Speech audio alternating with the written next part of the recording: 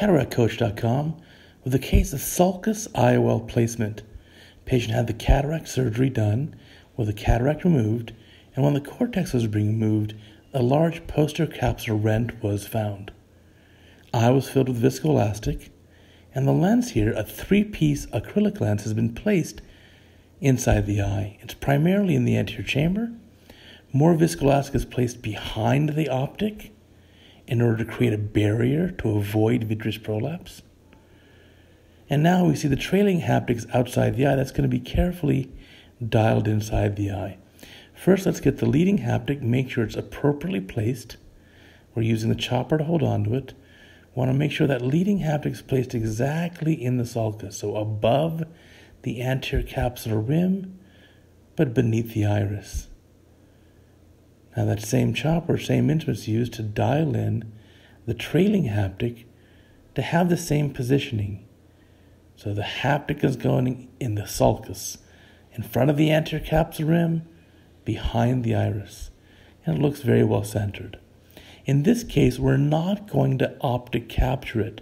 We'll leave the haptics in the sulcus and the optic also in the sulcus. We're putting in Miochol directly drop by drop into the iris to bring the pupil down. So, again, going around 360 to all parts of the iris, we want to bring the iris down. A little inadvertent placement of some air bubbles. So, we'll take those out of the eye. Up, a little bit more air bubbles. Let's get these out. Now, of course, the air bubbles are of no consequence, but it does impede our view to a small degree. So we'll get out most of those air bubbles. And now again, more of the Miochol or pupillary constrictor agent being placed directly on top of the iris. We gently stroke the iris tissue as we do this, and we try to go a full 360. Now, we're going through the paracentesis to avoid depressurizing the anterior chamber. Again, drop by drop, careful that we keep the eye well in the place where we want it, which is completely in the sulcus. If the pupil comes down like it's doing now over the optic without peaking, we can be assured that there's no vitreous prolapse. That looks great. So, a little bit more. Now, there's some viscoelastic inside the eye. We're going to gently flush that out.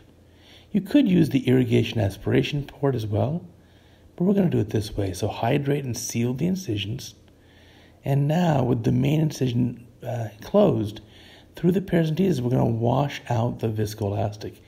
It does come right out that same paracentesis that we're using to inflate the eye. This is a very gentle and easy way of doing it. We can put a few syringes of fluid through the eye this way, each syringe is being about 3 cc's in volume. And that'll allow us to wash out the viscoelastic gently without letting the AC collapse. Now, the key here is don't let the anterior chamber collapse because if the AC collapses, it could allow vitreous to prolapse forwards, and we certainly don't want that. So that looks pretty good. Most of the viscoelastic is removed. That's a little triamcinolone placed in the anterior chamber. As you know, this would stain any prolapsed vitreous. So when we swirl this around, we see, again, confirmed, there is no prolapsed vitreous. So that looks great. So, important to remember how to calculate the sulcus lens power. Read the article here on Cataract Coach to understand that. It does involve what I call the rule of nines. And in this particular case, we were able to achieve the exact same plane of outcome. Now, originally, we had planned on placing a toric lens for this placement.